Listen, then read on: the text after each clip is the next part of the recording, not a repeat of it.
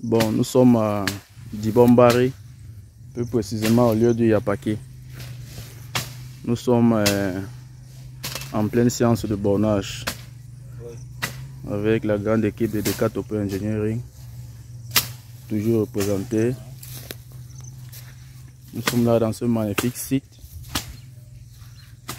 terrain plat et sec. Comme vous pouvez le constater en image, terrain, c'est une terre cultivable. Le terrain est plat et sec. Malgré les pluies, vous voyez qu'on peut constater l'état du terrain. Malgré les pluies qui s'abattent tous les jours, vous pouvez constater comment le site est. Le site il est accessible. Constatez les travaux. Constatez les travaux. Vous pouvez le constater, le site il est en chantier. Le site est en chantier.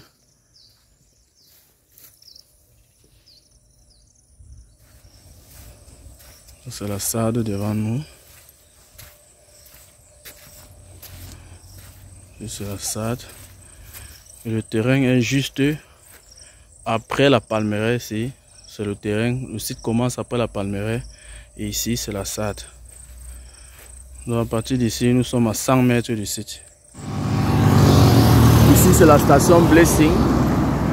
Ça, c'est la route qui part, qui part à l'ouest à Bamono. Ici, c'est la station Blessing. Ça, c'est l'entrée du site.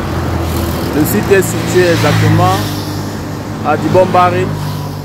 Et le lieu et le quartier s'appelle, le quartier s'appelle euh, Yapaki.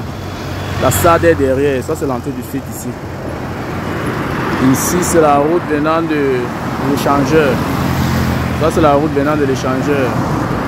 Donc, juste après l'échangeur, 200 mètres après l'échangeur, on arrive ici. On arrive ici à la station Blessing.